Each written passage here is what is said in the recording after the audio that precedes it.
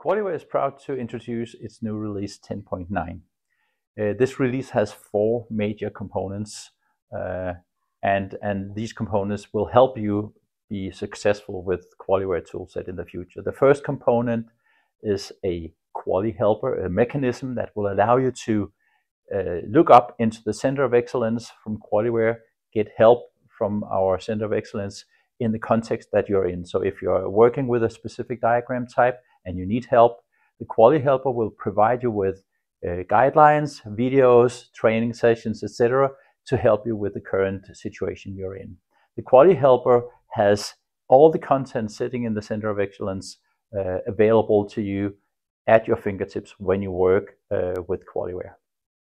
The second part has to do with uh, using AI services for the knowledge sharing you're doing with Qualiware. So AI services in Qualiware, we introduce that in the creation phase, so help you create the models. We introduce that in the analysis phase uh, to find patterns in models and, and to validate the model's correctness.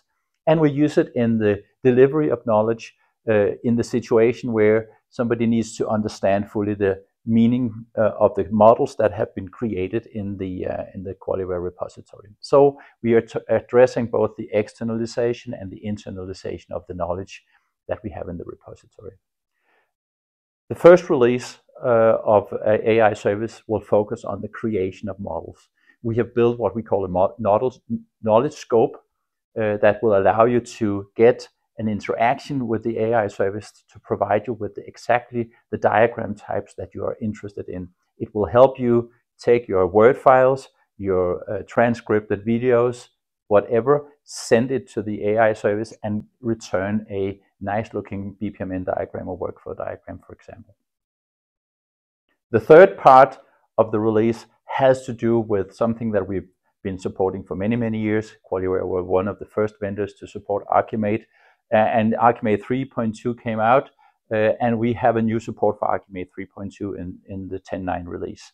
There is one thing about the Qualiware support for Archimate which is unique. We inherit in Archimate all the properties from other meta models. So when you look into an Archimate model, it will have properties predefined for you, and these properties have been analyzed and are now being uh, included in the visualizations in the uh, highlights and all the new dashboard features that we've introduced for Archimate.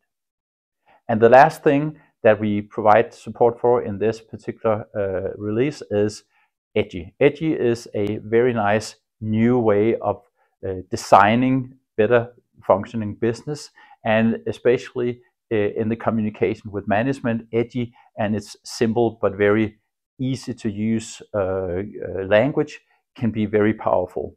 So with Edgy support now, we have new dashboards, new analysis, and new highlights that will make it even easier for you to comprehend the design of the new business that you're building. Good luck with Qualiware 10.9.